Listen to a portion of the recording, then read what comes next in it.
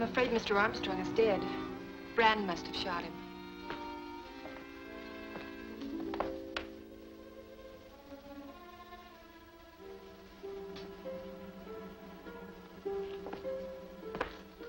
Too bad he had to die to prove his innocence.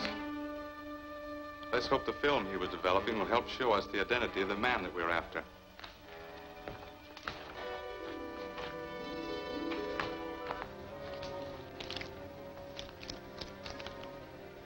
Film is ruined. It's useless.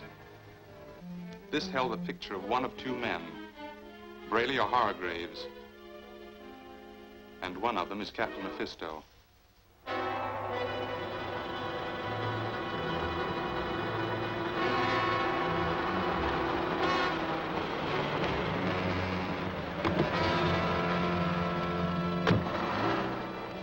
Reardon escaped, but I finished Armstrong. Yes, his death was necessary, but it narrows the field for Reardon. He has suspected from the first that I'm one of the owners of the island. Now he has only two suspects left. We must see to it that he doesn't endanger my plans to control world industry with Forrest's invention. Forrest is stalling. He could have finished the radioatomic transmitter weeks ago. I'll settle that today.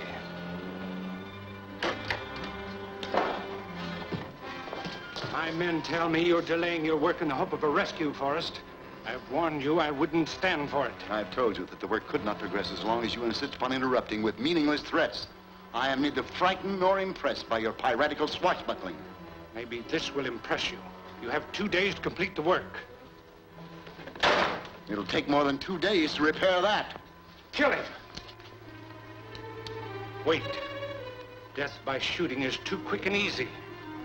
But I'll devise a more painful method for your removal.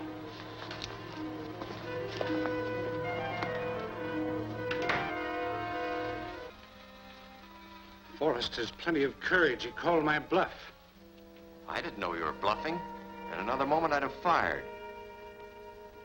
The only way we can force him to terms is to capture his daughter, bring them face to face, and convince him that her life depends upon his obeying orders. That ought to do it. Will. And at the same time, leave Reardon completely confused as to my real identity.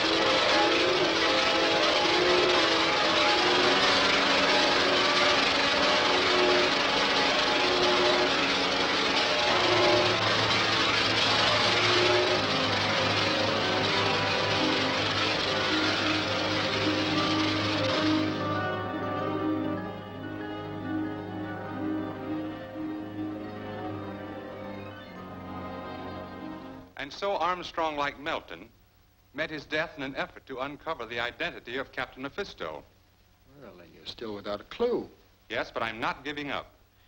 I think Mr. Reardon, as our guest, is perhaps a little reticent about voicing any suspicions that might embarrass us. However, this affair has become so serious that it is necessary to speak plainly.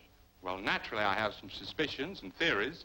Oh, uh, by the way, this may affect your theories. There was a telephone call for you a short while ago, Reardon, by a man who said he'd expose the true identity of Captain Mephisto. Of course, that is for a price.